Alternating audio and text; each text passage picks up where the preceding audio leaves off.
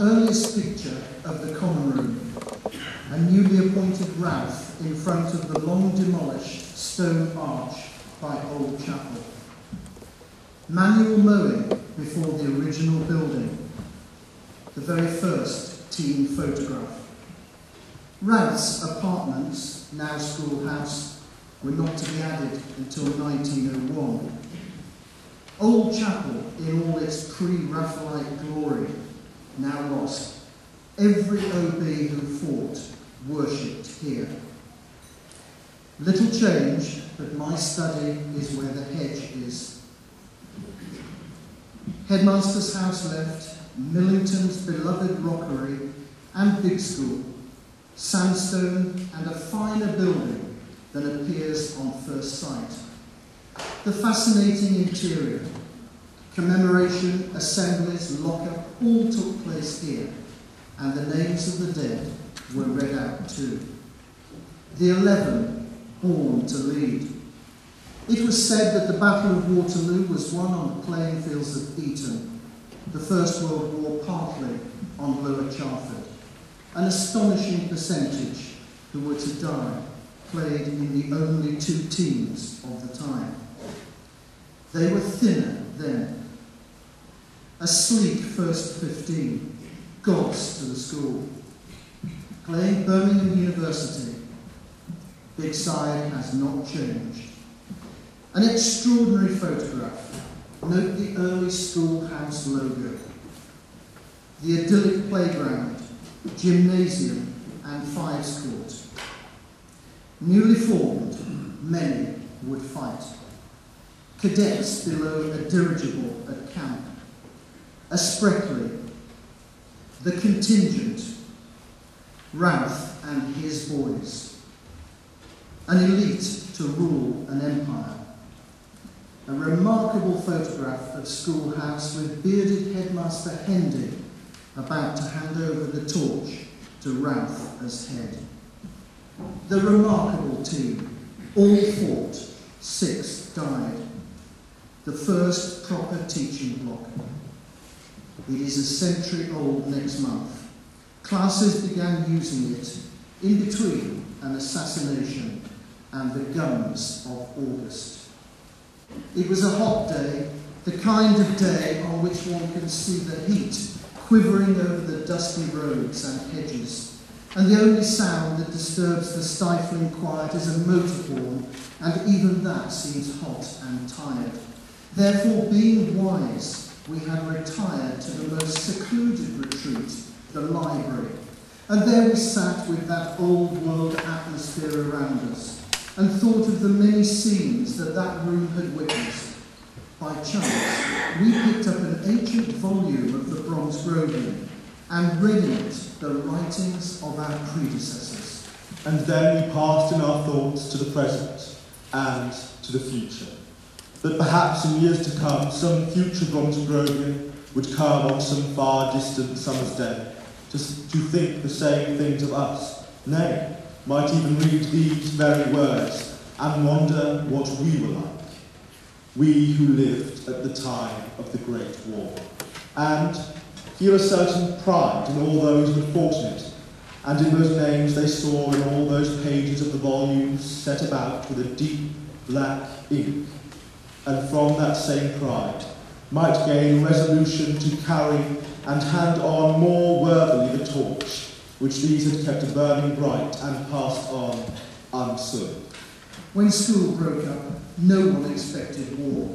The editor of the Bromsgrovian could write confidently. We ourselves are dreaming of seven weeks' glorious rest, of the briny sea and of all its pleasures, and by the time this appears in print, those dreams will be very near fulfilment.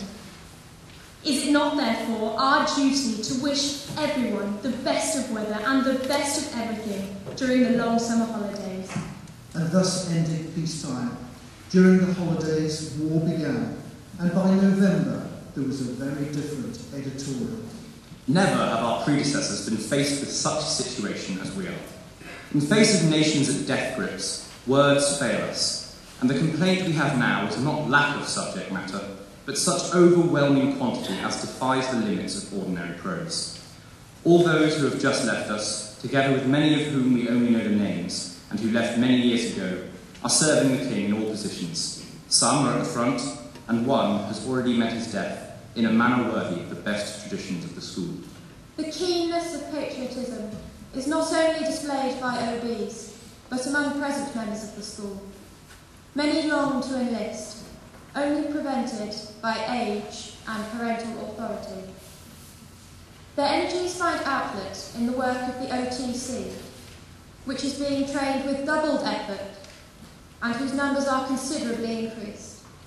Football, though by no means discouraged, having to give way to military efficiency. The school was changing physical appearance too. The most notable and gratifying thing is the rapid progress of the headmaster's new house and the successful completion of most of the alterations necessitated in order to connect it with the Lyttelton house. The quad is about to be enclosed. The first obituary. Lieutenant Ralph Lessingham Spreckley, Connaught Rangers, killed in action 14th of September. 15, 11, Head Monitor, Colour Sergeant, OTC. His parents were well-known brewers in Worcester and presented a reading desk to his memory. And here it is in front of me. The Worcester Herald. Worcester should know the glorious details of the death of one of her sons. One fellow, Spreckley, earned the military cross twice over before killed. He was hit in the leg, went back and got dressed, and hobbled up to the firing line, cheering his men on. He was hit again and did ditto, getting back just as his fellows were breaking. He rallied them and drove the Germans on, only to be shot when the situation was safe. In football prospects, The fight has begun on a vaster field than that of rugby, and our struggles, mu- struggles must sink into comparative insignificance and suffer. Our complaint is that we do want to fight, but war has wiped out our match list. Our weapons must be the worse for lack of use. The backs have seen too little of each other to combine perfectly, and the workmanship of the two strands is for the same reason necessarily backward. Bromsgrovians served in regiments wonderfully diverse and historic. The Royal Flying Corps, Worcestershire Regiment, 7th Welsh Fusiliers Regiment, Birmingham City Battalion of the Royal Warwicks, Motor Ambulance, Royal Anglesey Artists Rifles, Public Schools Battalion Royal Fusiliers, Liverpool Scottish, New Zealand Force, Munster Fusiliers, Oxford and Bucks Light Infantry, the 51st Sikhs, and the Saskatchewan Regiment. The war was closely followed by the boys. The headmaster is giving a series of instructive talks which are much appreciated. Large scale maps of the theatres of the war have been placed in kiteless. Mr. Isley has kept the positions of the opposing forces accurately marked up to date. They had expected the boys home by Christmas, but in December, A whole term has passed, and Europe is still in the throes of the greatest war the world has ever seen. So far, it has not made any great outward difference to the seclusion of school life, which continues its daily round much as usual. Though few are as yet at the front, OBs already have won honours in the firing line, DSOs gained by Dent and Russell, to whom we offer our heartiest congratulations. the headmaster gave a morning off in honour of them. Thousands of Belgian refugees flocked to our shores and some to Bromsgrove, where the townsfolk rallied to assist. And Isaiah Burnell, our director of music, a composer and friend of Elgar, arranged a concert, the Bromsgrove Messenger. As was to be expected of any concert directed by Mr. Burnell, the programme was full of good items, exceedingly well done. It raised six pounds, five hundred pounds today. New library books were dominated by war. Warships and their story. The Royal Navy. Why we are at war. Germany and the next war. From the trenches. Germany and England. And famous land fights. As 1914 ended, only one OB had died so far. Mr. Ralph was on the move. We congratulate the headmaster and Miss Ralph upon their removal into the new house. We have had the privilege of inspecting it, and all we could say was that we should be very glad to live there ourselves. We hear that even the workmen were attacked with violent envy for the lucky possessors. Machiavelli wrote, Wars begin when you will, but do not end when you please. The Debating Society tackled the motion that the war is not likely to last more than to the end of the present year. Prophetically, Mackay stated that Belgium was one mass of concrete trenches through which the Allies would have the greatest difficulty in pushing back the Germans. the President noted Trench warfare might last indefinitely. a great honour for the school was announced for someone who died in what is now a Taliban stronghold. War Office, 24 July. His Majesty the King has been graciously pleased to award the Victoria Cross to the undermentioned officer. Captain Jotham, in the team seated left of Kidderminster and Sandhurst, embarked for the northwest frontier. 37 mounted infantry of the Northern Waziristan militia were sent with three British officers to relieve an isolated outpost threatened by a large tribal army of up to 10,000. Retreat was essential at the gap if our troops were not to be surrounded and cut up. The attempt was made in three parties, the last being Jotham's. His commanding officer wrote, He lost his life in a gallant attempt to save an unhorsed sowar. There was time for him to have got through alone, but the delay allowed the enemy to swarm down from the cliffs and fire from close range. It was a glorious death to have died. He killed seven of the enemy before his death, and we are all proud of him and grateful for him for setting such a magnificent example, especially valuable in a critical time like the present. A letter from a Major Hill to Jotham's father is equally remarkable. Our acquaintance only lasted six hours, but I summed up your son as one of the most striking men that I had ever met. In 1913, I was in the rear coach of the Glasgow Express, which was telescoped by the Edinburgh Express at Ais Gill. 16 people were killed.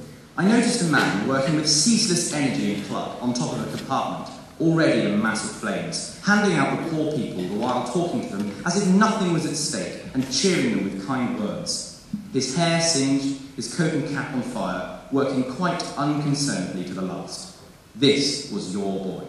Hill later received a regimental card from him. It is hard to be shut up in a sun-baked fort when I long to be in France, where I hope you now are. Hill wrote, but To my sincere regret, the letter was returned, marked deceased, killed in action. Hearing of his photograph in the Illustrated London News, I write to you. Had he died with less honour to himself and glory to his country, I should have been surprised. I had never met a man who filled me with greater confidence in his personality and strength of character. He was one of those Englishmen who for centuries have made this country famous and have made and extended our vast empire without thought for himself and with no blowing of trumpets. I am proud and glad to have met him, and shall carry his memory with me until my death. I then hope that I shall again meet him. If you have a photograph of him and can spare one, I shall be most truly thankful to you. the Victoria Cross was presented to his father by King George V at Buckingham Palace. He is buried in the Miran Shah Cemetery in Pakistan, commemorated on the Delhi Memorial in India, and a plaque is in the Garrison Church at Whittington Barracks at Lichfield. And in front of this lectern is that VC, which will be on display at the interval. A change in uniform. Dear Sir, that for which many of us laboured has been gained, the abolition of the old blazer and the introduction of a pale blue one. We have nothing but praise for this innovation, but we suggest that on the pocket of the, of the blazer, the letters BS in white would be added, that for which we crave. Dear Sir, in view of the present Zeppelin scare and the electric light system now prevailing, is it too much to expect to have our old friend, the school notice board, illuminated by a shaded electric light instead of a feeble and somewhat distant gaslight? The war was deeply threatening. More and more each day is the reality of war being brought home to us here at school. When it began, it was affirmed that it would be waged at no light cost, and this we now realise to the full. It is hard for a school to appreciate such great external disturbances, except insofar as their friends, relations, or daily necessaries are affected. But we too now begin to see the stern side. The head monitor of last term is already on service abroad. The two drums to your right are the original drums from 1915. But the CCF at that time was digging trenches below Cyprus. which provided intense enjoyment until the novelty wore off, together with the skin from their hands. Nevertheless, all were most proud of their own sections and most reluctant to fill them in again. The OB Cigarette Fund has sent cigarettes to Kerwood and Pilcher. It was a harsh spring, but The snow gave us a chance of experiencing the almost unprecedented joys of tobogganing. Thirty of us managed to snatch a day of it. meanwhile technology proceeded apace. A new era has been marked by the universal introduction of synchronized electric clocks. As there are clocks in the quad, in the schoolhouse, dining hall, on the Kiteless building, which is in full view of Gordon House, and in all the new classrooms, it is now impossible, theoretically, to be late for anything. In a reading of Much Ado About Nothing in the headmaster's dining room, Miss Ralph Gave a delightful rendering of Beatrice. She so brought out the character of the vivacious and capricious young lady to perfection, and we wish the society, in general, would acquire her art of reading so naturally and skilfully as to make us think, as we shut our eyes, that we are in the streets of Messina. Bach was heavily criticised. His whole idea seems to be to get to the end of his speech as quickly as decently possible. He is improving, but this cannot be said of Gurney, who struggles painfully and with apparent difficulty to the end of his speeches, and, what is worse, stumbles over the words. Sports Day was in March. The mile ended as usual close to the pavilion. Watson was expected to win, and he did not disappoint his supporters. Five minutes, four seconds. The OTC met King Edward's contingent in a very heavy snowstorm for operations, and they took part in a recruiting parade in the town together. Ralph lost his first boy in Gordon, his first head of house. Win Owen came from India with the Garhwal rifles. At dawn he fell, just as the German trench was reached, at the head of his men. Of the 550 who went into action, 180 returned. One officer alone remained. OB Egypt reported There's been quite a nice little scrap here at last. a plea that The postbox be placed in a more convenient position, that at the end of a long dark tunnel full of perils in the shape of frogs and other public dangers only to be braved at imminent risk to life and limb, and also of being late for locker. Humphrey Humphreys survived the war, had attended Birmingham and Harvard, became Vice Chancellor of Birmingham, and his portrait hangs outside the headmaster's study. From Alexandria. I would sooner have been near Cairo, where there would have been more in the way of antiquities. I had a thoroughly enjoyable and interesting voyage. It finished uneventfully, though we went on losing a horse or two every day from ship pneumonia. I managed to save all ours except one, which arrived alive but was too weak to stand up and had to be shot on the quay. It is very hot by day, but nights are delightfully cool, and we sit and sleep on the sand. We cling to the flesh pots of Egypt, and having pigged it for breakfast, lunch, and dinner, we trudge every evening through a mile of sand to dine like Christians in a hotel. Many thanks for your wishes for my birthday. I never anticipated that I should enter on the 30s, the anteroom of middle age, in such an outlandish spot as this. There is little prospect of anything happening on any scale. Our chances of any considerable excitement here are, at present, small. June. There stole upon our ears an indefinable sound, almost impalpable and yet increasingly insistent. A sound which jarred discordantly on our high flights of thought. At first we paid no heed to it, but its everlasting note gradually forced itself on our senses. The corn corncrake. Here at last was a topic quite original, and one that could hardly fail to procure the sympathy of all whose daily tasks take them to the Kairos building.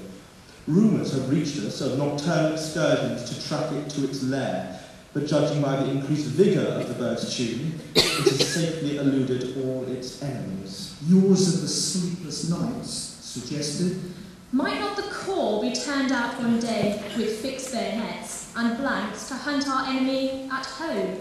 the corncrake. An editorial moves us.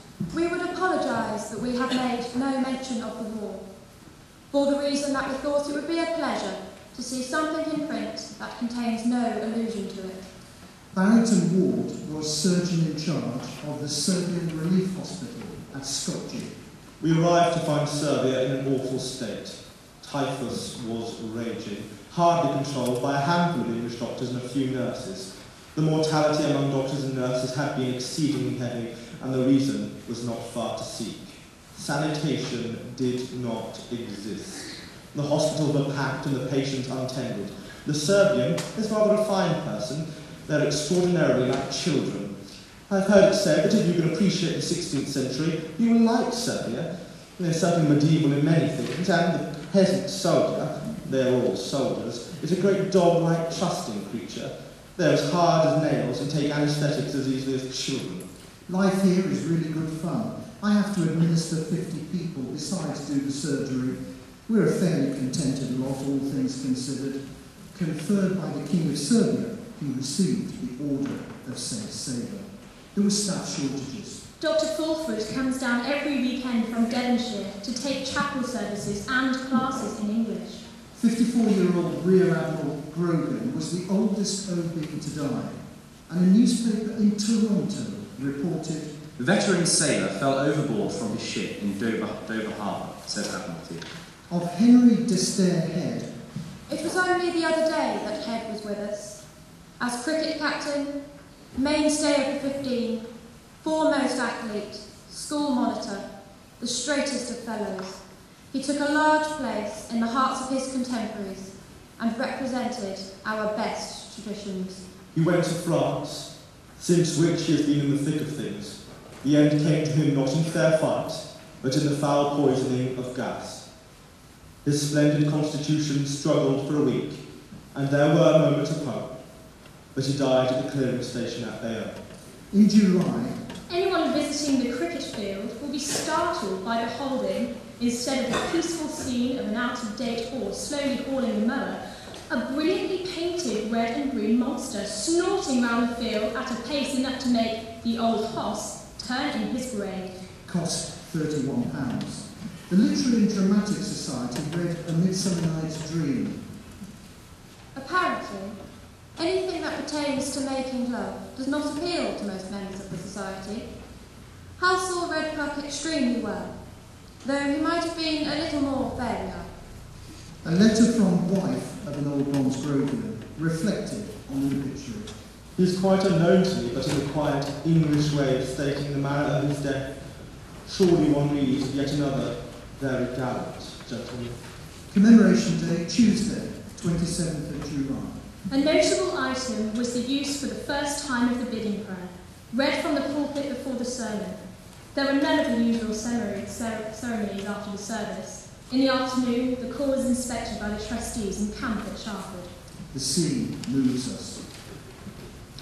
Anyone would have been struck by two features. Firstly, the rain, secondly, the gramophone.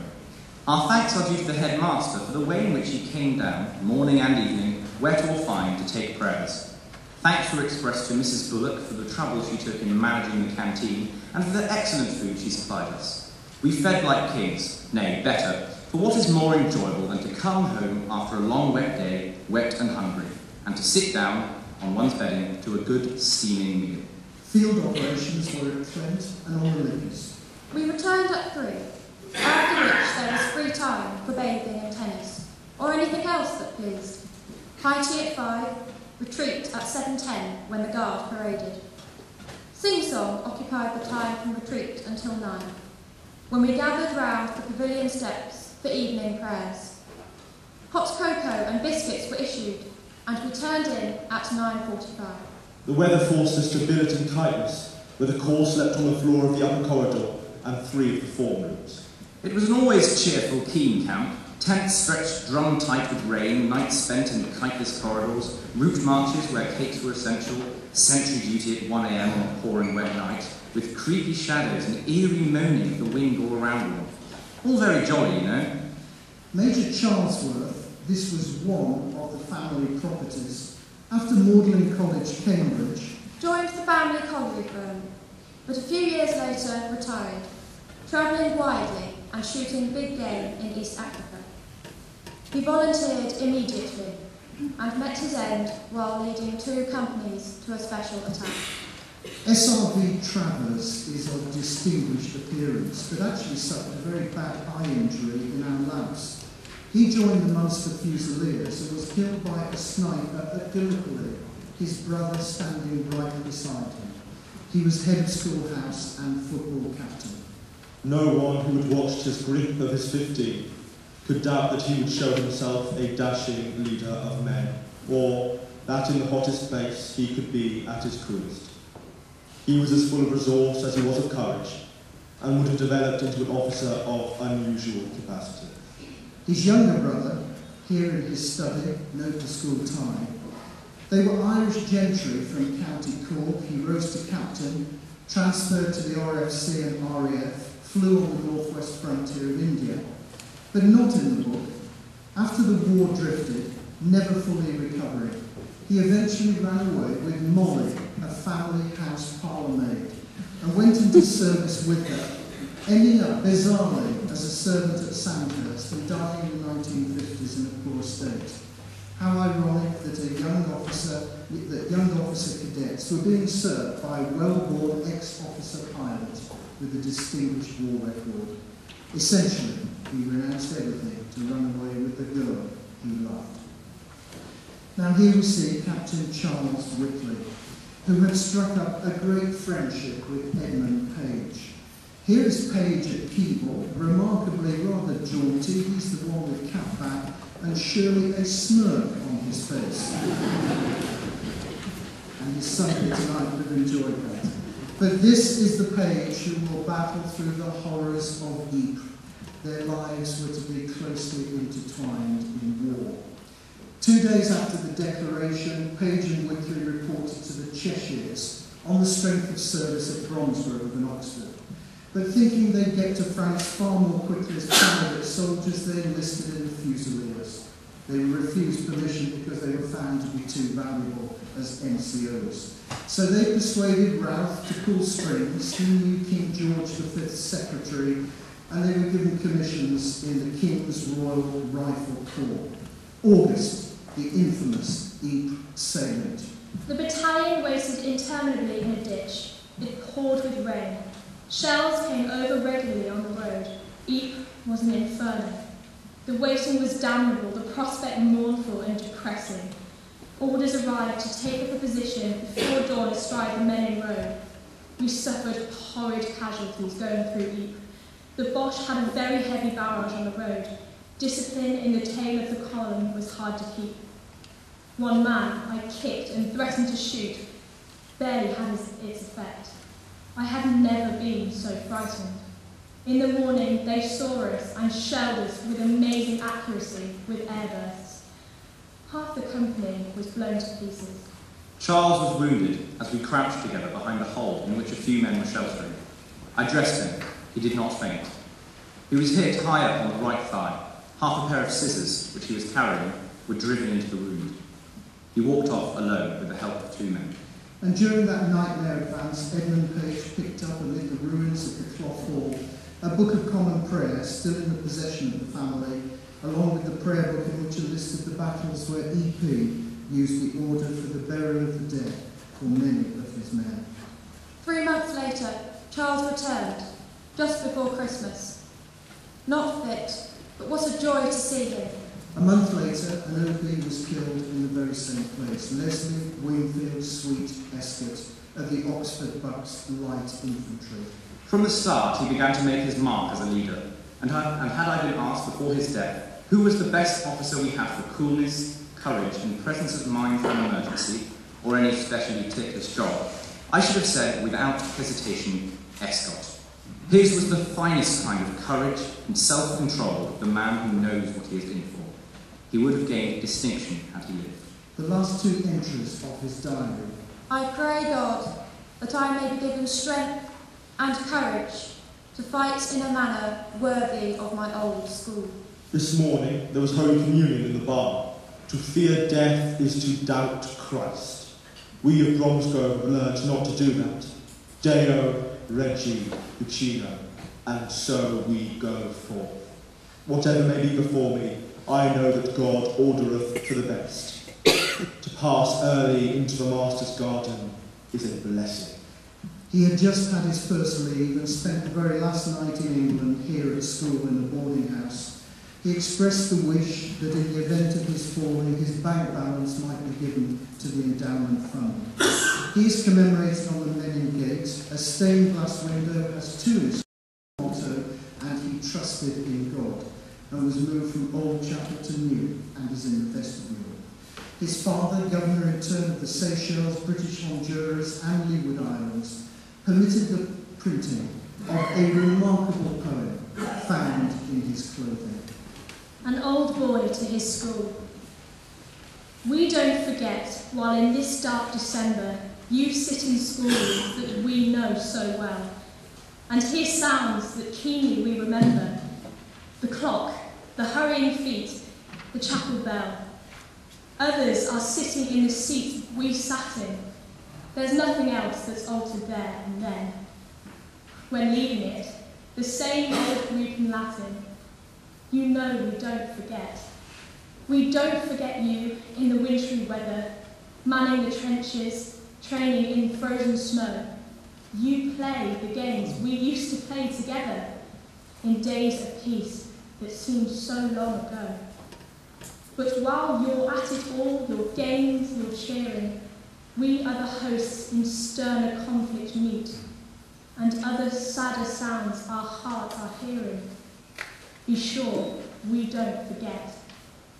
If we, your brothers true, for all your praying, to this dear school of ours return no more, but lie our country's debt of honour paying, and not in vain upon the Belgian shore. Till that great day when at the throne of heaven the books are opened and the judgment set, our lives for honour and for England given, our school will not forget. Reginald Hartley was a towering figure at school. Dead ere his prime. For never was a life more full of promise, giving more joyous hopes. Hartley was of those who leave their mark wherever they pass. At school, it seemed only natural that he should be head monitor, football captain, cricket captain, and holder of every office in turn. He had from early youth the rare combination of literary gift and practical efficiency and athletic skill, an appearance of unusual distinction, the keenest interest in nature and in life. The Bromsgrovian, not only when he was himself editor, owed much to his steady pen, and his graceful lines, sung at the laying of the foundation stone of Cyprus, were a tribute which he delighted to offer to the school. The war broke out as he was leaving Oxford, and he hastened to offer himself for service. Military life had no attractions for him, but he knew that he could manage men, and that brought its own reward. It is fitting that he should have fallen in an effort to save one of his wounded. It is the leader's task, and in all things he always led. His short life has been a full one, full of honest work and honest play, and his life and death alike are full of inspiration for those who come after. Meanwhile, I do not apologise for trespassing upon your valuable space, as I consider the matter of which I am writing to be an important one, and one which will appeal to the whole school. I refer to the method which has lately been employed in depriving us of our hair. All appeals to leave us enough hair with which to make a parting are in vain, and we leave the hands of the shearer in much the same condition as do sheep. Let us try to look like respectable members of society instead of shaven criminals. Hoping this appeal will find a place in your heart. I am yours, Sean Head. another worry. Old Bromsgrovians have often asked on revisiting the school has been, is the tunnel still in existence, or how is the tunnel going? It was our most treasured belonging. We almost worshipped it. Now, sirs, it seems to me that since this is so, and since the tunnel is the most unique part of the school, it ought to be a matter of no trepidation to bring to your notice that since the dining room has been transferred to Lyttelton and the letterbox, the tunnel has only been used by a small minority of the school, who pass down it for a fleeting moment when going to breakfast. At other times, its only inhabitants are toes, generally squashed, dead leaves and water. In view of which, sirs, I should like to propose that steps be taken to ensure the tunnel being used by the whole of the school and a means to getting entrance to the library, for instance. It fell into disuse. A dormitory, an array of tiles, gymnasium left, one of two courts, in-house dining, a classroom in Kiteless with map of the war, tranquility. We destroyed the fine chimneys in the 80s. I'd have them for those big collars. Off to Stoke Prior. A he or a she, whatever, 100 years old on Commemoration Day this year. Taken from what is now the piazza in front of Humanities. Look at that headmaster's drawing room. Our first lab. Notice the balcony and chimneys. Is he making a point or the boy? And on this one, Sir Thomas would turn in his grave. Governors, please note, just like the Victorians, they covered walls with photos. Note the candles, and surely to the left, Lady Hamilton. A second Spreckley was killed on the penultimate day of the year, Arthur Freer. From India he reached France, where he was wounded in October. He returned to India with his wife and infant child. They took passage in the SS Persia, and all were lost. A P&O liner built in Scotland torpedoed and sunk off Crete by Commander Max Valentiner, and the wreck was located in 2003 at 10,000 feet. Arthur Freer was the type of English officer. Fierce, resourceful, modest, and good. Though his efficiency and athletics marked him out in the school, he will be remembered by his intimates not for these, but for a courtesy of manner and innate delicacy of mind, which lent to his companionship an indefinable charm. His grave is the sea.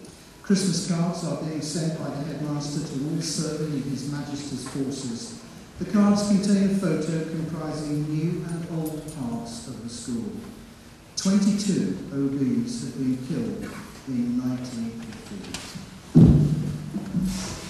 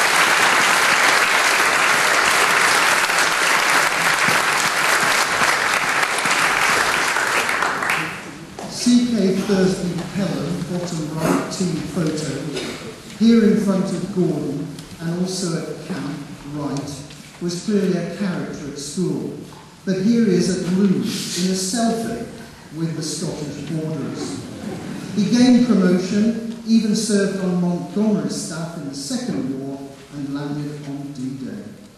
He led his company with great skill and courage, inspiring confidence in his men by his cheerful example under heavy fire, which enabled them to advance in spite of all opposition.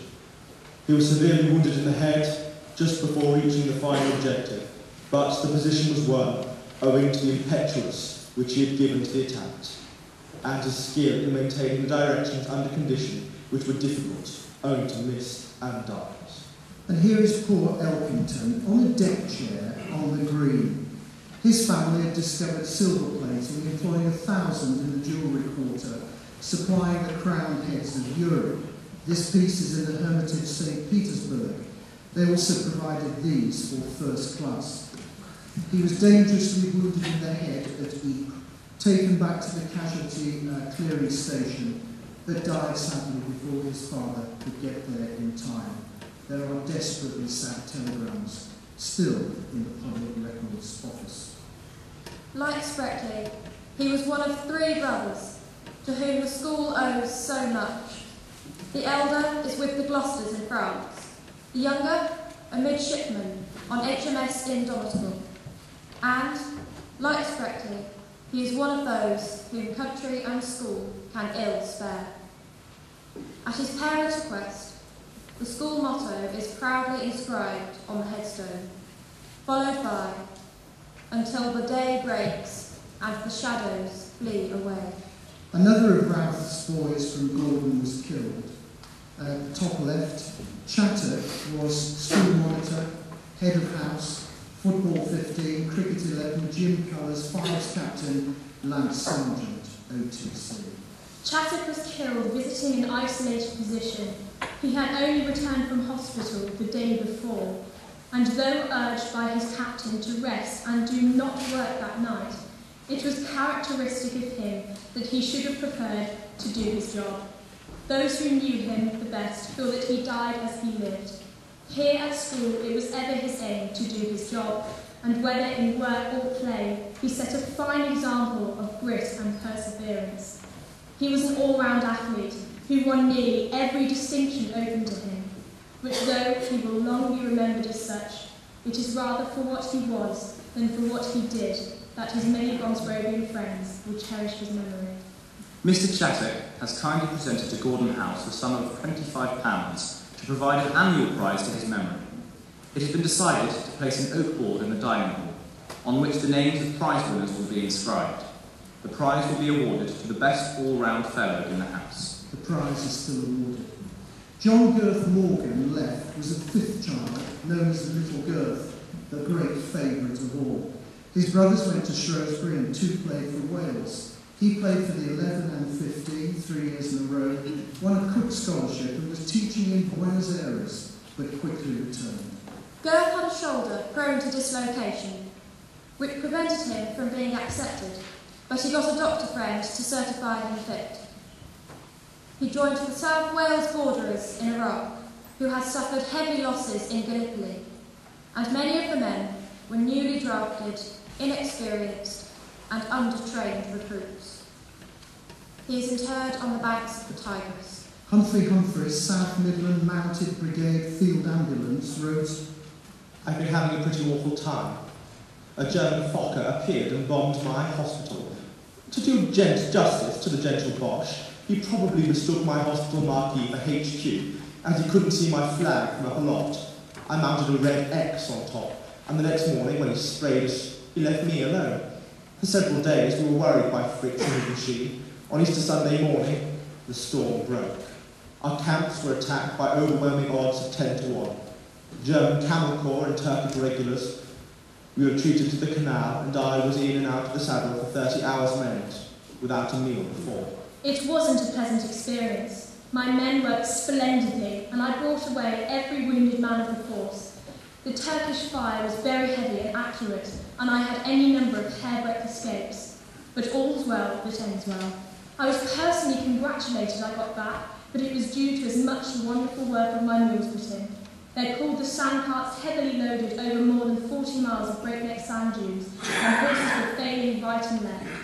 My gallant mare carried me over 70 miles, counting the galloping to and fro during the fighting, and at the end was as game as ever. And read between these lines. I may get a chance soon to send you an uncensored account of the whole business. I cannot say much more as I believe it is intended to represent the whole affair as a British victory, but you will draw your own conclusions as you count up the casualties. They are sure to be trickled out gradually. All my kit has been captured by the Turks. I have only the clothes I stand up in. I am quite well and unwounded, so don't worry. But two OBs did die on that ill-fated Easter day in the Battle of Katia, a great disaster for the British, the one in which the Worcestershire Yeomanry fought valiantly, and one was The school doctor. Dr. Bealby was born in Midlothian, educated at Edinburgh and Vienna, was our medical officer, surgeon to the cottage hospital, bailiff, member of the district and county council, and resided at Henry Hall. An Ottoman force, led by General von Kressenstein, made a surprise attack. Arthur Valentine Holyoake left Queen's Own Worcestershire Hussars, was there too. AM, in thick fog, a sentry reported that he could hear voices. The main body of the enemy came up, and the hill of Oghratina was surrounded. The yeomanry could have got away, but would have had to leave the dismounted engineers to their fate. There was only one thing to do stay and fight it out. Of 20 officers and 230 men, only nine officers and 56 men were left, and most of them were wounded. And the official history described it as A lamentable occurrence, resulting in the total loss of three and a half squadrons of the yeomanry, but otherwise it had no effect. It has surprised no one who knew him that he met his end in an effort to help others. Captain Bealby decided, decided, declined to retire with the others, but remained behind to attend to a wounded officer. He was never seen again. For 20 years he has been a school doctor and its firm friend. It was not easy to find the limits of his kindness and good temper, though both must have been sorely tried. To hold the balance so fairly that no malingerer is allowed to shout and none really unfit is allowed to play is no light task. A member of the first 15 was quite wantonly rude when he was forbidden to take part in a match. Dr. Bealby declined to have any apology offered or rebuke administered on the grounds that anyone whose liver was so out of order might be pardoned much. He lavished on the school an unselfish and unceasing care, always courteous, punctual, sympathetic, loyal. There was no need for him to go to the front, no need for him to give his life as he did. Being himself, he could not do otherwise. We offer to Mrs. Bealby and the boys the sympathy of those who knew his worth. His name is on the Jerusalem Memorial. Holyoake lived in Hazelden, his father a well-known local solicitor. He was captured at the same battle and marched with 8,000 from Egypt through Damascus, Jerusalem, Damascus, Beirut, Aleppo, Ankara, to a prisoner of war camp at Yozgat. Many died on the way, and at the camp, which was at 4,500 feet. But he did organise whilst there fox hunting, a theatre, and a Masonic lodge. It is the only story we have of the capture of an OB. The enemy was so near that I got out my revolver. Would they charge? I hated the idea of being bayoneted. I was very poor shot with my revolver and I began to wonder how near I ought to let them get near before I fired. Suddenly I heard the Cole's voice. Ceasefire. I expected fixed bayonets, then charge. It had never occurred to me that we would surrender. Put down your arms and hold up your hands, was the next order. I hurriedly dropped my revolver onto the sand and buried it at my feet. As I stood up, expecting to be shot, bullets were still coming on, but most of the Turks came forward and began looting us anything that appealed to them. At the same time, motioning us towards their rear. A big Anatolian pointed out the direction in which he wanted me to go. There was a sandhill just in front, and I went to the left. Two of our men to the right, and to my horror, I saw them both bayoneted by Turks. On the whole, the Turks behaved well. Captain Murray was reported missing and Died in a German field hospital. They debated that it is not in the interest of the Allies that the United States should join the war. Payne considered That the Americans would take a great deal, but do very little. Forget the Germans. What is it croaks without the hall, where studiously great and small are toiling, and annoys them all? The corn crake. What grates away in rain and mud, and makes you long to spill its blood, or hold its head beneath the flood? The corn crake. Oh, for a bomb to stop that grate! May gas or shell asphyxiate and utterly annihilate the corn crake. Captain Butts was almost 40, the oldest OB to die in battle. Only a week ago, he went over our parapet under machine gun fire to bring in a wounded man. His company was in the hottest part of our section, but he never lost his smile and spent hours walking along his trench and cheering up his men. Page and Whitley were now at the Somme. The battalion was to capture orchards at dawn. Charles's C Company were in front, and B Company, commanded by Evan Page, in support. The bombardment and retaliation were terrific. Charles led his company with two pistols and escaped with wonderful gallantry. A piece of shrapnel went straight through his right forearm before the attack started, but we could not persuade him to go back. The battalion lost 20 officers and two-thirds of its strength. That led to the Military Cross for conspicuous gallantry in action. He had remained on duty 12 hours after being hit. Commemoration Day will be kept quietly again this year. The song. Three died in the first three days of July, two on the first day of the month. Another of Ralph's Gordonians and head monitors was killed. Captain Tasker was an only son and In January he married and went to the front. He leaves a widow and a little son aged three months. Considerable improvements have been made to the heating of the chapel. The old stove has been removed and gas radiators installed. Two are in the aisle, one near the reading desk, and one in the headmaster's pew. Ralph kept, Ralph kept warm.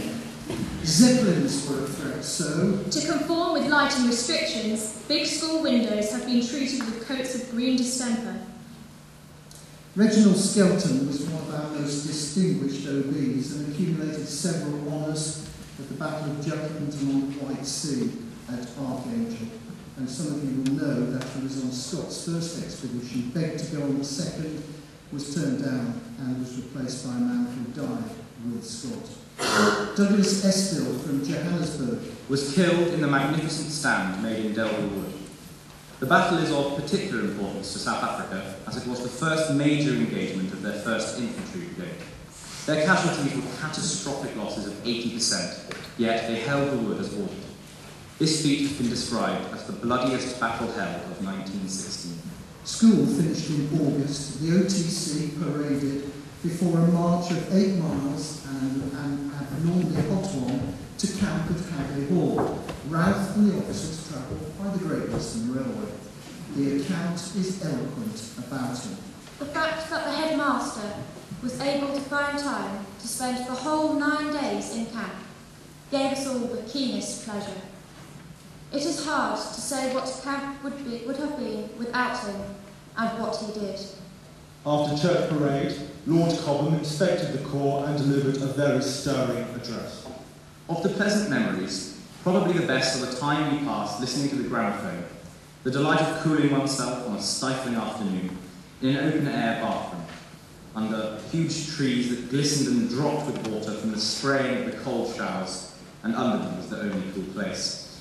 Or yet again, standing in the glow and warmth of the cookhouse fire at three o'clock in the morning, and pondering the loneliness and silence of the night.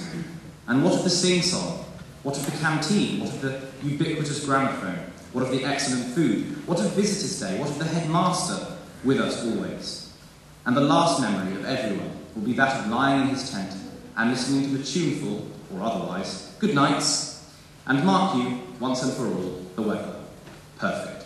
Captain Stewart, Connaught Rangers, Was seconded to Nigeria, and it, and it was not until 1916 that he obtained his wish to go to the front. He was severely wounded. His recovery had been hoped for, but Africa had sapped his strength, and there was not sufficient resisting power. He was cheerful to the last, sending a message of comfort to his mother and thanking her for all that she had done for him. Leonard Cameron Kidd Royal Flying Corps was the first OB pilot to be killed. He was tea planting in Ceylon when the war broke out, but returned as soon as possible and at once obtained a commission as he was already in possession of a pilot's certificate. He has been flying continuously. And his diary could have come from the Biggles book with the gung-ho recklessness of youth. He was Twice lost in snowstorms and once landed in a field, but plunged over a 10 foot ditch, through a hedge, and finally into a corner of a wood, smashing the machine to atoms, but escaping with a bruised ankle. but in one of the most devastating passages tonight. Yesterday, I walked through Fricourt. Never again will I go over a battlefield if I can help it. No words can describe it. Not a brick left standing, and the whole place full of smoking holes of dugouts and shattered bodies. God knows how the wretched infantry stand it. I'm sure I don't. They say that it's the airman's point of view. He has all the sport and a minimum of the danger. But no pilots had parachutes in this war. A week before he died, I am alive and kicking and enjoying myself tremendously. We had great sport a few days ago. We came to within 500 feet and sprayed a lot of the enemy in a dugout. I never laughed so much in my life. They didn't know which way to run, and we bagged the whole lot of them. two days before he was killed, he was elated. Cheerio! I got my military cross today. Thank goodness. I did want something to show for the song job. I got my machine well straight by machine gun fire three days ago and again yesterday. At the last show, I had the left claim, main, the left claim main spar shot away. Also a fuselage strut. One through the rudder post and five through the plane, about six inches from my head. Yesterday, I had one come up through the floor. His final entry, I had a rotten time the other evening. We had just finished our reconnaissance job over enemy lines, signalling shots to batteries, and had started home when an inlet pipe blew off, and I had to land among shells. We landed all right somehow. The mechanic arrived two hours later and took the machine to pieces, and we got back here at 1.30 a.m. It was an awful sweat getting the fuselage to the road, pushing it over trenches and shell holes. he was killed by friendly fire. His CO wrote, He was hit by one of our own shells when flying over the German lines at 1500 feet. He is a great loss to the squadron and was one of the pluckiest pilots I've ever known, as he was continually doing daring work. The only consolation I can offer you is that he was killed instantaneously and in doing his duty for his country. A fellow pilot wrote, He was universally loved. I enclose one of his maps, on which I have marked with an X the position where the machine now lies. There were just two houses, Gordon and School, but All is not well with house matches. SH is twice as large as GH. In the last 12 years, 22 football matches have been played, of which SH has won 15 and GH 7. The former scoring 450 points and the latter 123. In cricket, SH has won 8 times and GH 4 times. What is wanted is three houses of equal size. Let SH be divided up into two houses. Suitable names can be found without difficulty. Schoolhouse disappeared from the sports field. After the present term, the schoolhouse is to be divided into Lyttelton and Millington. As the year closed, there was a concert in Big School attended by poet Laurence Binyon, who wrote the most famous lines in the Remembrance Service. At the going down of the sun and in the morning, we will remember them. 23 of OBs had been killed in 1960.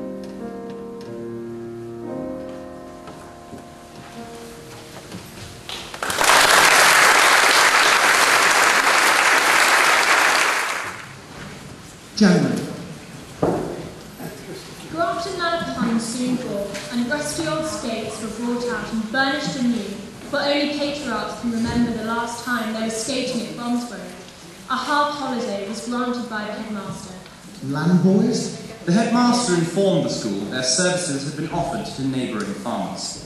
One meatless day is now enforced throughout the school. There will be no leave on Friday to any shops that sell food. Dear sir, if we are consuming more than our appointed weekly rations, may I suggest an obvious solution? Let us get up an hour later in the morning, on the principle of he day boys were few and were houseless, and they had to wear a red ribbon. Now that it has been realised that a division of houses is desirable, may I christen a plea for the day boys? You cannot run an 11, much less a 15, and the day boy token on sports day is mere mockery. Yet it is hardly our fault. The spirit is willing, but the flesh is weak. Could we not be apportioned among the new houses? Humphrey Humphreys, Suez. I think it probable we shall be in France before the summer. We are all much encouraged at the prospect. I have been employed on sideshows so long that I badly want to see something of a big push before the war is over. The editor. There was one noticeable feature in our last number, which we deeply regret that we cannot repeat in this. It was almost the first issue since the war began in which our OB news contained no names of OBs killed in action. A party of wounded soldiers came over from Blackwell Sanatorium. They were received by the monitors, watched the Gordon Millington match, and afterwards were entertained to tea and a small concert in the gymnasium, the soldiers contributing some of the items. They departed in excellent spirits, in a break to the accompaniment of much cheering on the part of the school. House colours were introduced. I wanted to take my way o'er Charford's grassy sward. It was upon a house match day. The school did walk abroad, with ribbons and rosettes galore of mauve and brown and green. One of the most cherished institutions at Bromsgrove in the summer is bathing. To come hot and dusty and paddle about the baths at will, or bask in the sun, clad in a bath towel, toga fashion. But cricket prospects were poor. The lack of a groundsman, the shortage of petrol for the motor, the difficulty of obtaining matches, and the demands made by military and agricultural authorities combined, combined to make the lot of the captain of cricket far from enviable, and he has our sympathy. Dent was killed by a shell which demolished the building where he was having afternoon tea. His wife and little daughter survived him.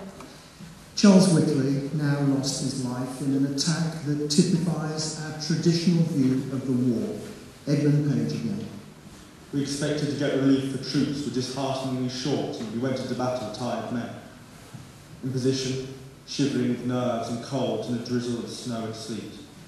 Orders reached us that zero hour was postponed to 24 hours. I shall never forget those hours of waiting while our artillery finished their work. Just before dawn I talked to Charles. His spirits were wonderful. He knew his company loved him and would go anywhere with him. His young officers were desperately nervous, but Charles's amazing spirit kept them going. At 1am, we were visited in freezing trenches by Brigadier General Skinner, sent to discover why the advance had halted. It was soon obvious to him that any advance up the hill was sheer madness until Hill 90 had been taken. Skinner sent back his situation report, which was overruled. The attack on Wancourt would take place. At 4.30, the attack orders arrived, and in spite of all our protests, we were ordered to carry them out. One division never left the trenches, but B Company, under Whitley, made a most gallant attempt to push forward. But from the start, it was an impossible task, and the staff who had ordered the attack, if they had ever come near enough to have looked at the ground, would have realised it too, and would never have ordered the attack. Whitley's body was found nearest the wire, which was totally uncut. The whole show was a complete failure from want of preparation and organisation on the part of the staff. They lost all 12 officers, but the irony is that during that same night the enemy cleared out, abandoning Hill 90. Charles died instantly from MG bullets carrying away the lower part of his spine. Sergeant Melville bought me some of his things and broke down telling me what he had done for them. Whitley had never had to work. His father was MP for Liverpool and Everton in turn. He is one of the 12 statues in the magnificent St George's Hall, Liverpool, alongside Gladstone and Peel. They lived in Cheshire but had a townhouse in Piccadilly. After Oxford, he had worked to help poor dockers in the slums of Liverpool.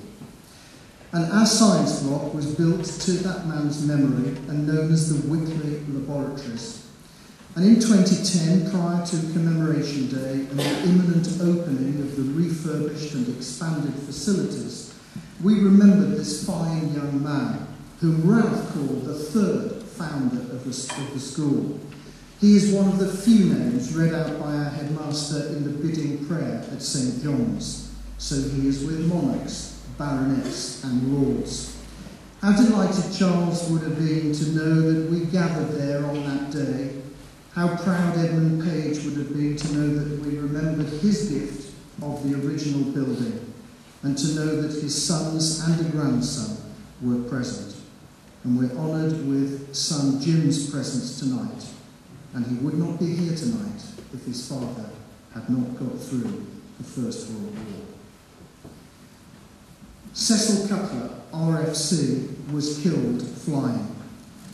Don't they look like Spitfire pilots? And he looks RAF. Private Price, Saskatchewan Regiment, fought in the Great Battle of Vimy Ridge. He is remembered on that vast monument and is watched over and lamented by Mother Canada. A third Spreckley fell, Guy Lessingham. Spreckley, farmed in New Zealand but in 1914, was back in England and joined two other OBs in dairy farming. Refusing a commission, he went out as sergeant. He met his end in the Great Advance of this year. Setting the noblest example of personal bravery to his men, he was in command of his company, was wounded early in the action and refused to go back. Wounded again, he still kept on, but a third missile struck him and he fell dead in a moment. He is commemorated on the Menin Gate. He and his two brothers stood here for everything that was sportsmanlike and manly. Differing greatly in their respective gifts, they were alike in the service they rendered the school and in the affection they felt for her. The youngest fell, the eldest drowned. Now GL has rejoined them. They leave behind them a wonderful record of clean, healthy lives and of unusual courage. They would be the first to bid us not to mourn their loss, but ourselves to do our share. And the family then added a plaque to the reading desk in front of us. We have perpetuated an incorrect legend for some time. There was a fourth son, Herbert, who did not attend Bromsgrove, who joined the Royal Navy at 12, survived and died in 1974. He was educated at Dartmouth. But having lost her three Bromsgrove children, Mrs. Spreckley was the parent invited to lay the foundation stone of the memorial chapel. Ironic today that those cigarettes have been warmly welcomed.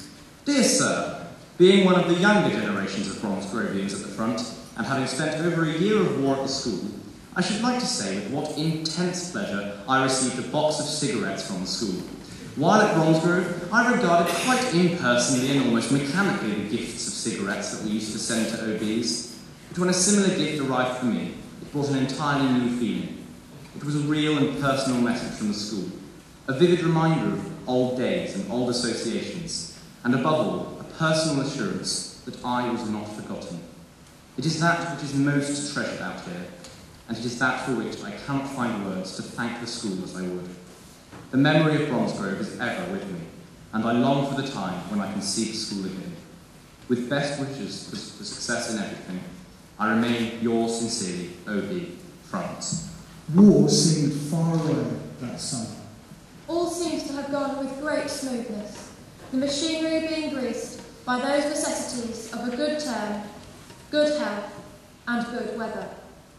One interrupted afternoon's cricket is the sum total of inconvenience caused by rain. No epidemic, and the sanatorium has had but few occupants. Energetic people with nets and bottles range the countryside at intervals. Nowhere is one safe from the click of the camera.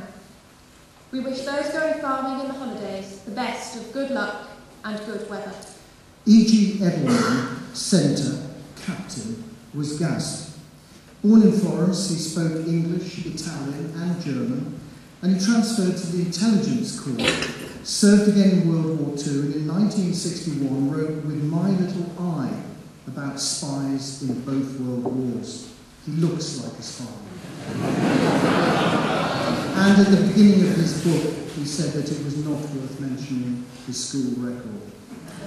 Captain Huggett was killed. acting as an intelligence officer, and his colonel speaks very warmly of his capacity as a soldier and his qualities as a man. His elder brother died at Gallipoli. The boys were born at Dungannon, County Tyrone, where their names are inscribed on the War Memorial. And one of the most moving pictures tonight is one of their father cheering troops on their way. He was to lose both his boys. Second Lieutenant Frank Bernard Wearne, Essex Regiment, top right, in this team looks a rather unlikely hero that is to be awarded the VC. He had already been severely wounded and It was only in May that he was able to go on active service again, and the end came in a few weeks. His Majesty the King has been graciously pleased to approve of the award of the Victoria Cross to the undermentioned officer. For most conspicuous bravery when in command of a small party in a raid on the enemy's trenches, he gained his objective in the face of much opposition, and by his magnificent example and daring, was able to maintain his position for a considerable time, according to instructions. Grasping the fact that if the left flank was lost, his men would have to give way, Wearne leapt onto the parapet and ran along the top of the trench, firing and throwing bombs. This unexpected and daring manoeuvre threw the enemy off his guard and back in disorder. This gallant officer was severely hit for the second and third time, and mortally wounded. And in one of the most memorable assemblies in our history, on the first day of term, that account was read by the headmaster, the whole school standing throughout. A letter from his Batman, Private Voller, to his parents included this. A bomb landed between us. Mr. Wearne received his first wound in the leg and would have been fully justified in going back, but he utterly refused to go. I bound him up as best I could. However, the enemy having retired, I got him into the trench, where he sat directing things as coolly as ever. I think I will go back, Father, if you will help me. But he was hit again on the forehead and yet again on the back of the neck. When I saw his face, sir, I knew beyond doubt that my officer was dying. I sat beside him, holding his helmet over his face to keep off flying stones. He turned to me and said, You have done well, Voller. Tell. And then he died, with the same smile on his face it always wore when it was pleased. Five men helped carry his body. One of those was killed too. I would this tale had a different ending. Believe me, I did my best. How to remember the dead. An historic meeting and decision. Sir F.W. Fryer, Governor of Burma, presiding in the cook's room.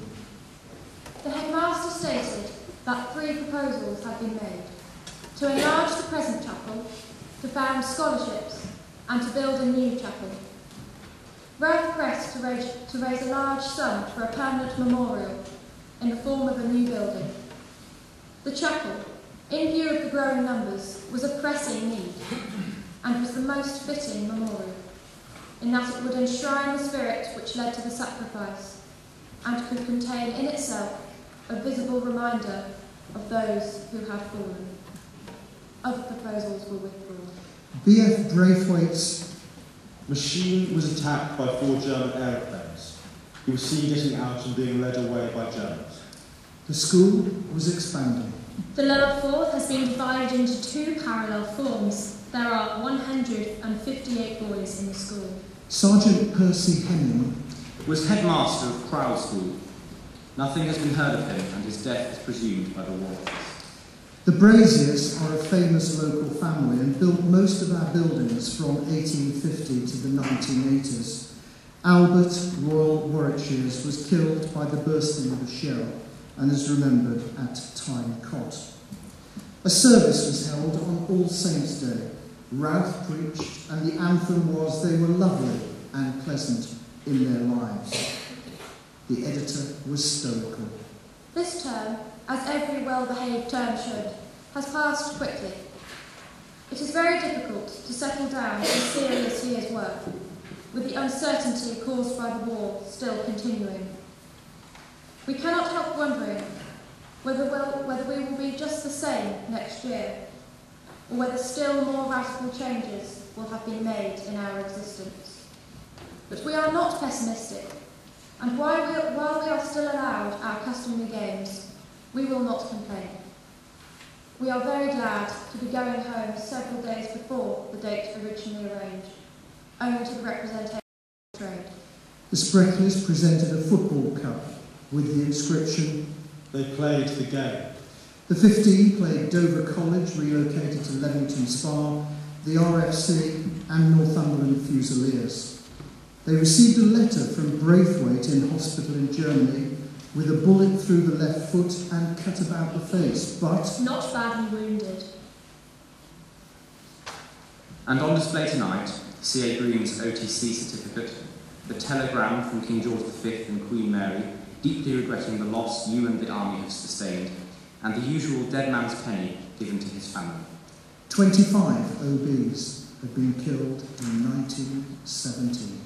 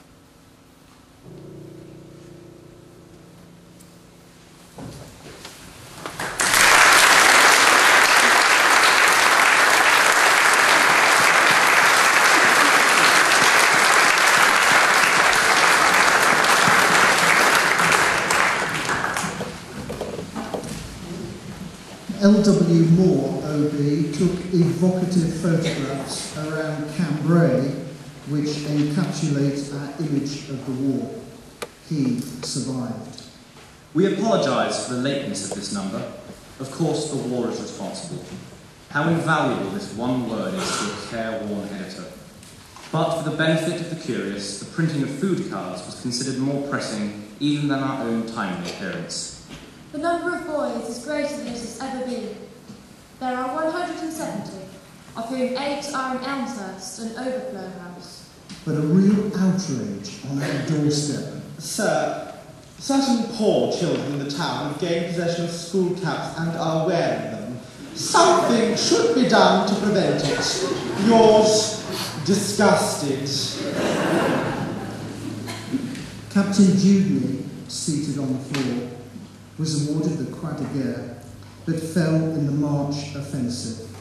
His last words were, Tell the Colonel I have done my best. and Private Wheelock, Royal Inniskilling Fusiliers, After leaving school, Wheelock was a clerk in Lloyd's Bank, Bromsgrove. Percy Dean was 41 when he won the Victoria Cross. He enjoyed sailing and joined the Naval Volunteer Reserve, but could never have imagined in his wildest dreams the heroic actions he would perform in a famous raid on Zeebrugge. Three old warships were to be scuttled to block the harbour and mouth of the Bruges Canal and trap the German fleet. HMS Vindictive was to land 200 men to disable the German shore batteries, and volunteer yachtsmen were to captain motorboats to evacuate sailors from the sunken ships. Dean captained ML 282, and after the rescue, frail boats could escape past the, by then, disabled batteries. It went badly wrong. One ship hit an obstruction and sank prematurely. The other two were sunk successfully at the narrowest point. Dean manoeuvred his launch under enemy fire as 26 batteries and 229 machine guns fired down. HMS Vindictive had come alongside the mole at the wrong place and guns could not be silenced. The tiny motorboats were under intense fire. But Dean saved 100 lives. His boat was in the harbour for an hour and went furthest up the canal to rescue men. While leaving, three crewmen standing next to him were killed, but he heard an officer was in the water and immediately turned down, turned around and hauled him aboard. Then the steering mechanism broke down. All seemed lost, but he manoeuvred the boat under the mole so that guns could not be depressed sufficiently to hit it. Once out of harbour, he found himself alone and facing a 65 mile journey to the nearest port. But HMS Warwick came to his aid. London Gazette. It was solely due to this officer's courage and daring that ML282 succeeded in saving so many lives. The VC was presented to him at Buckingham Palace, and he was also one of the 100 VC survivors, Guard of Honour at the burial of the unknown warrior in Westminster Abbey. He became MP for Blackburn, defeating pacifist Philip Snowden, who became Labour Chancellor of Exchequer, and Dean came to commemoration annually and was a hero to, to the boys. He died in London in 1939 and is commemorated in Golders Green, Blackburn Town Town Hall. His family ran a slate business and at Zeebrugge, and there is a wonderfully eloquent obituary in the Times. What man of a man was this slate merchant of Blackburn? He was tall and fair with fresh complexion, fine blue eyes, shrewd, frank, usually hum- humorous, and pretty fearless eyes. His father died when he was young, and he rescued the family business with his attractively forceful personality, his energy and very considerable business and administrative ability. All his spare time from Easter to September for many years before the war was spent in cruising small boats in Liverpool Bay and the Menai Straits, with a cruise to the Irish and Scottish coasts in his summer holidays. He was full of fun, the best companion a man could find in fair or dirty weather, ashore or afloat. He was good company and to be depended on. To his shipmates, from the Baltic to the North Sea, down Channel to the Hebrides, the seas have lost some of their saviour with his passing. We shall not see his like again in the little ships that sail the narrow seas. A great personality is gone, leaving behind affection, happy memories, and a fine example of manliness and service. A DFC went to William Miles Thomas, who flew in Mesopotamia with the brand new Royal Air Force founded in April. He became a baron, managing Morris Motors, and then chairman of BOAC during the comet crashes. He wrote the first guide to London Heathrow Airport. Sir Lionel Whitby was our most distinguished medical OB. He lost a leg in 1918, treated King George V in a near fatal illness, and travelled as one of Churchill's doctors on several long journeys, and set up the first national blood transfusion service in this country.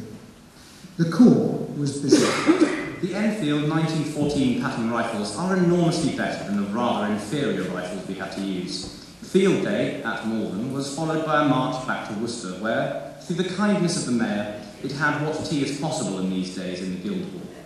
Seventy cadets will be harvesting near Newport. NF Hall recorded a story about lockup. All boys studied at night together in big school. A great deal of the responsibility for the discipline of the school fell upon Ralph, as younger masters were not available. We expected a somewhat ineffective temporary master to take lock-up. We arranged to receive him by kicking an empty waste paper basket down the gangway as he walked up. First move lay with me. I kicked the basket towards Embry, but at this moment I was impressed by the stillness that had fallen upon the audience, and looked up to see that Ralph had come in instead. As he went out, he said, Paul, come and see me after supper. Discipline awaited, but instead, instead, such loving kindness. I knocked on the study door. No answer. I poked my head inside. R.G. was sitting in a chair reading. I went up. I shifted my feet. I coughed. His deafness was never more impenetrable. After an eternity, he looked up with a start and said, Oh, Hall, are you there? I have Edmund Page coming to breakfast tomorrow. Will you join us? Page was on leave and in the same unit as one of Hall's brothers. Embry was shot down over France in 1940, captured by the German army, was marching through a village, spelt Embry, thought it was his lucky day, rolled down a bank, escaped, and became Commander-in-Chief of Fighter Command as the war ended. We are weeks away now, but six were to die in October.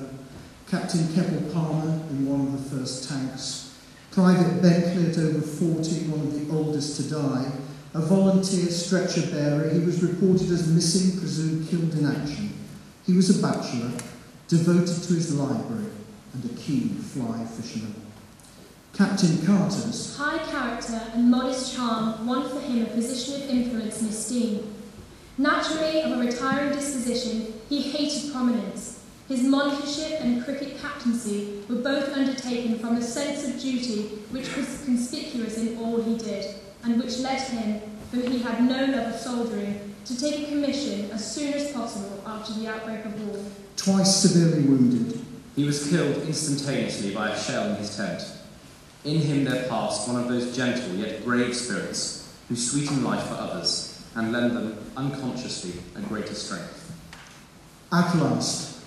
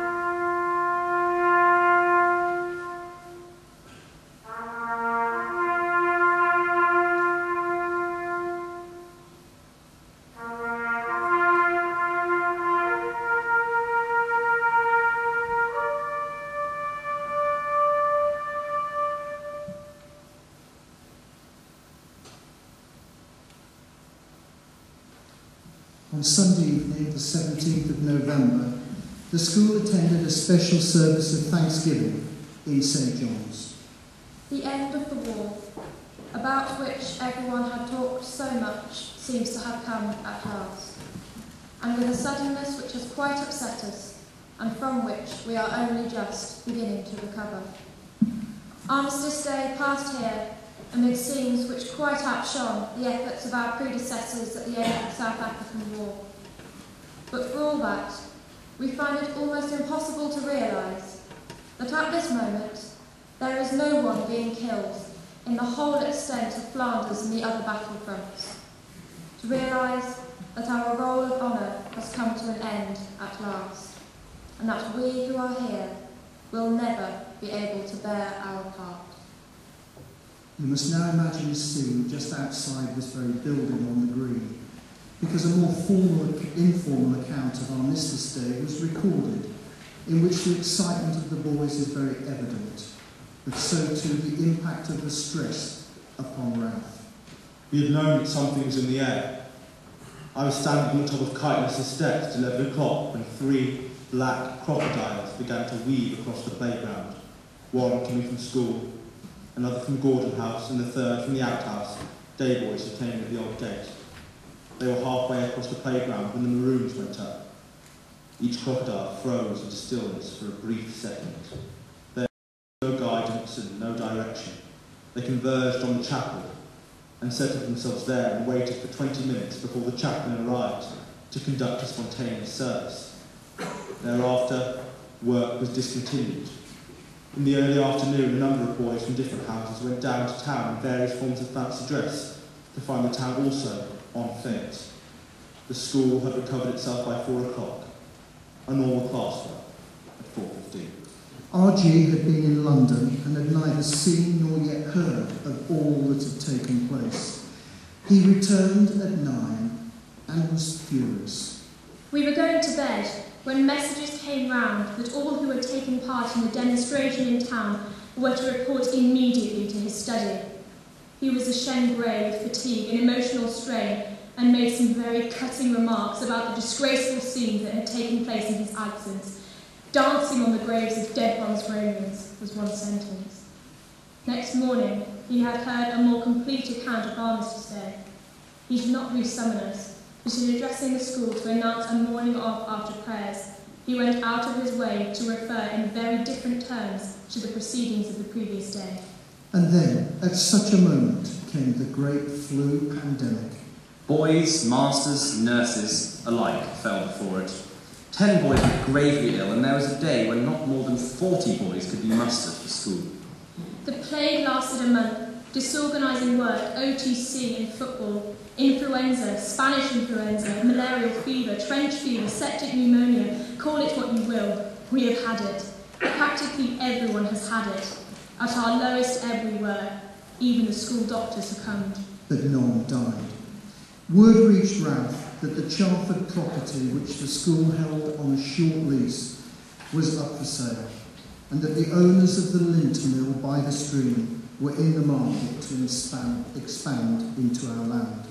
This, as R.G. wrote, would have been an almost mortal blow to the school's future. But he met the owners, set the case before them, and the upshot was that the school gained the freehold of its playing fields. We could have lost Lower Charford. In the last year of the war, 18 OBs had been killed.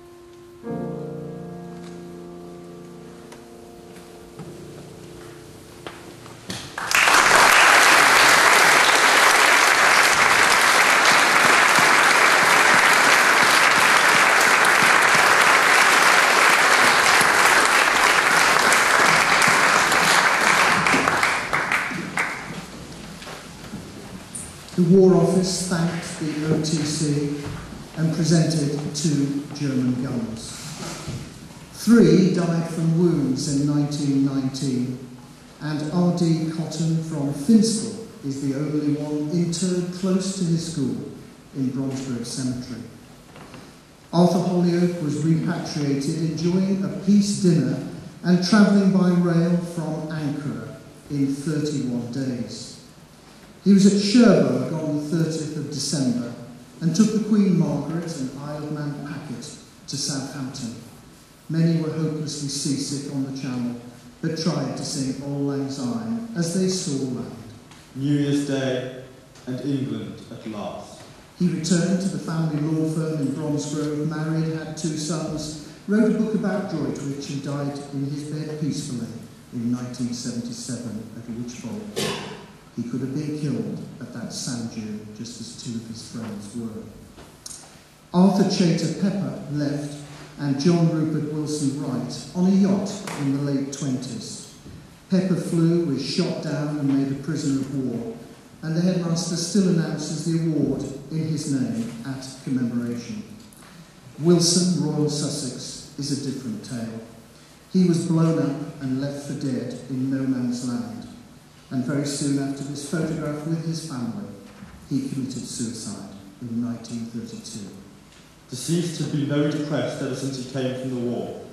Witnesses had known him from a child, and before the war he was bright and cheerful, but after he came back, he did not seem the same man. We believe that 427 Old Bromsgrovians served and that 93 died. How Charford loves the summer's long caresses and whispered memories of happy days.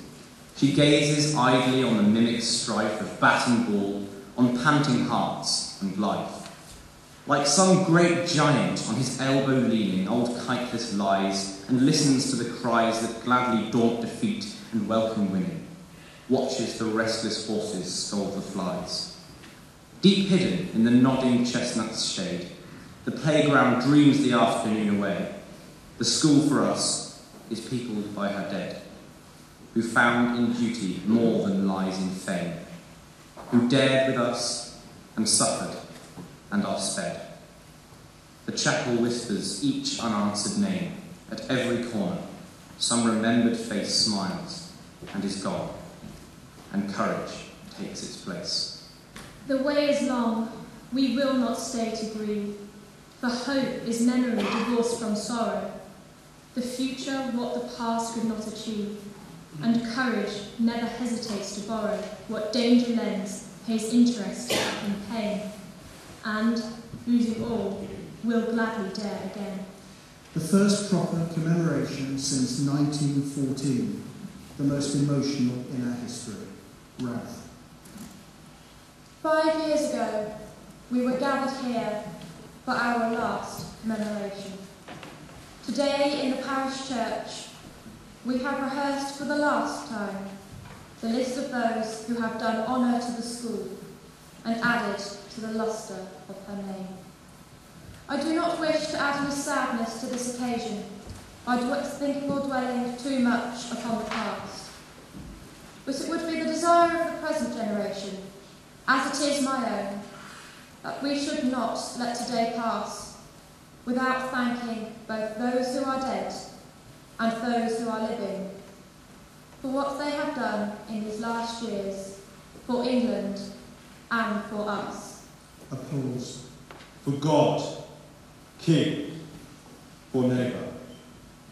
Through long years, the words have been blazoned on the walls of this school, but they have been spelled for us anew by sons of Bromsgrove in splendid deeds. We shall raise to them a worthy memorial, a new chapel, that which we think they would all most have desired, but we can raise no memorial which can compare with that with which they have erected to themselves, an example for future generations. Applause.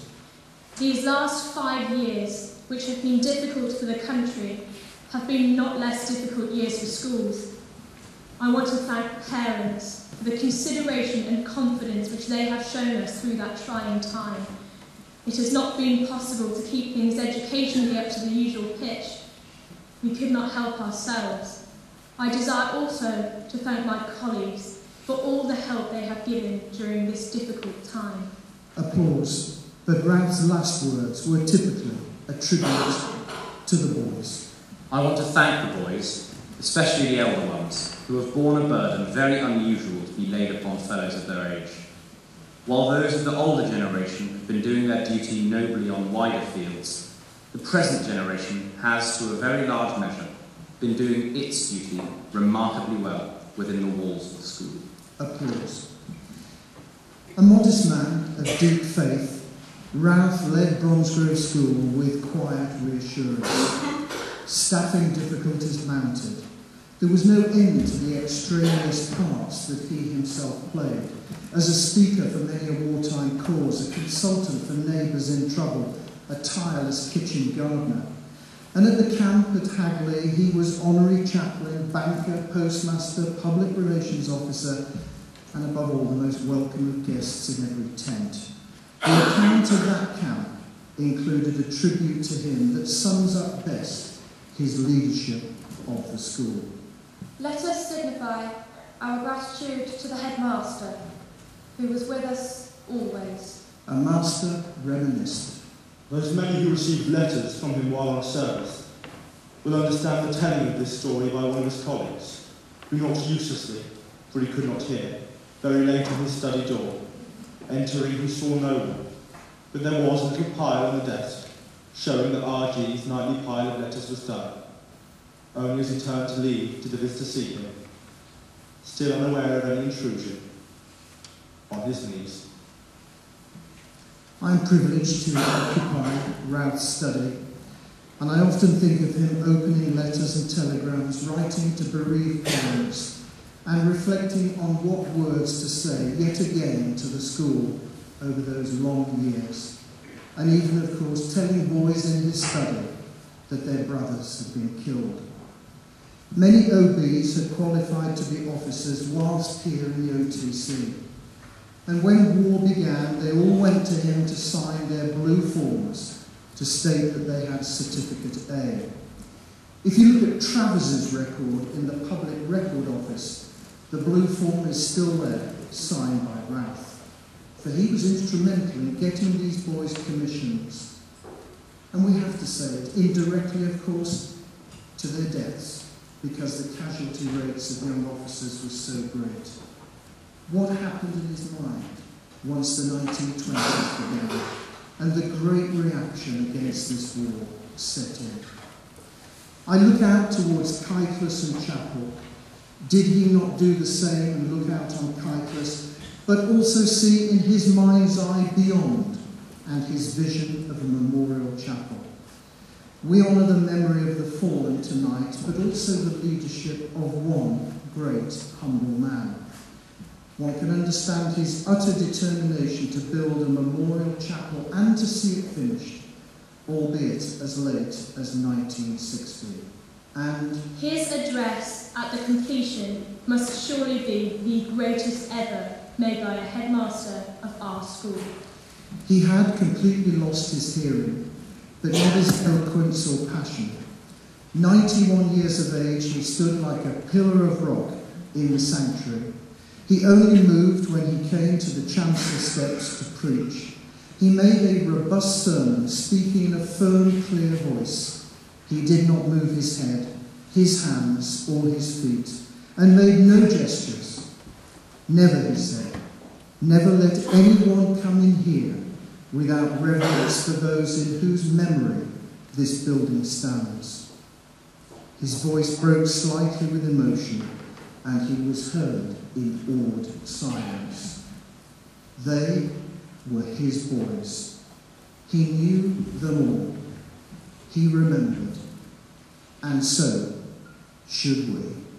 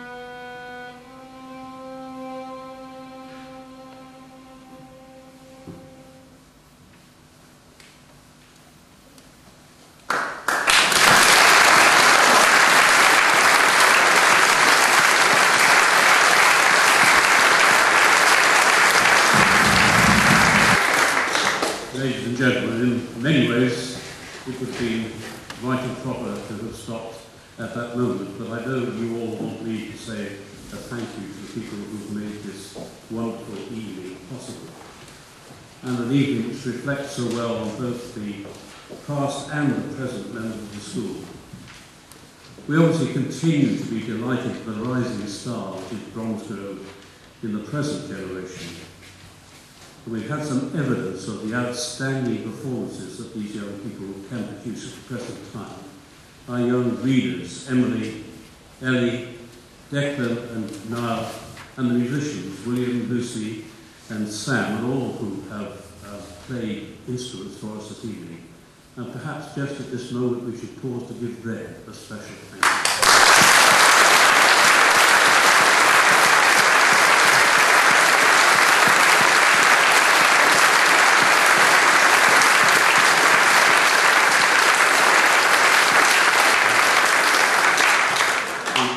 We thank Mr McKelvey and Mr Knight for the guidance which he's given to the group and all those who have helped to prepare them this evening. Many others have been involved behind the scenes and they're mentioned in your programmes and deserving also of our thanks. Do read carefully all the people who worked so hard to put on this wonderful presentation this evening. Uh, those are to be found in the programme notes. But while we glory in the success of the school present this evening has been very much about the school in the past. How they made sacrifices which laid the foundation and sowed the seeds which become the spirit of the school today. It's interesting to think that these young people on either side of me would have been going off to war within months of leaving school at the age that they are. In the proper attempt to com commemorate the events of a century ago, the school has been researching and publishing information about their former pupils. Two people have been collecting information about all schools across the country at this time in their histories. And I can't think, having listened to them speaking about uh, what they found, Mr Seldon, and Mr Walsh, that there are any schools that could hold their heads any higher than uh, that which we could do here at Bromsgrove when there were so many casualties in such a small number of people and five VCs uh, to add to all that. All these old Bromsgrovians and their actions and sacrifices belong now to an age which we can only reach by reflecting on memories. But that the current generation cares is shown by the fact that it is a capacity audience here this evening. I do thank you all very much for coming. Some very considerable distances have been travelled and some very distinguished people with long, much longer standing connections of Bromsgrove than mine are here tonight. And we thank you very much for coming to support this special evening. And hopefully, afterwards, to support the purchase of the history as well.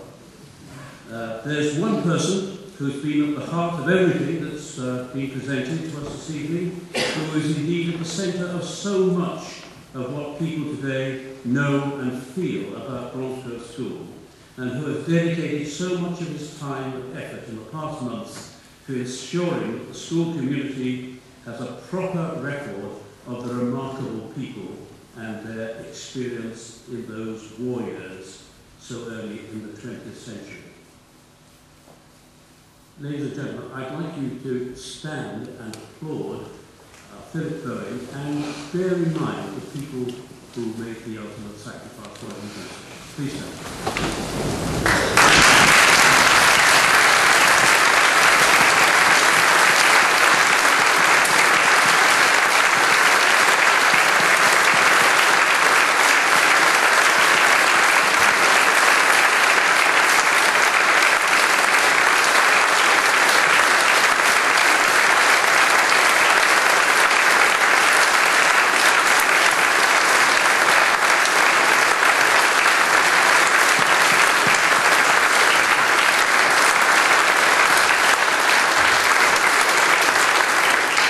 Thank you all for coming, and I only want to close with, with one line really. I don't know if I've ever seen such an extraordinary audience of Bromsgrovians, of staff, former staff, governors, former governors, OBs, present pupils, support staff. It's been a wonderful evening for this community and uh, Ralph would have been very proud of us tonight. Thank you.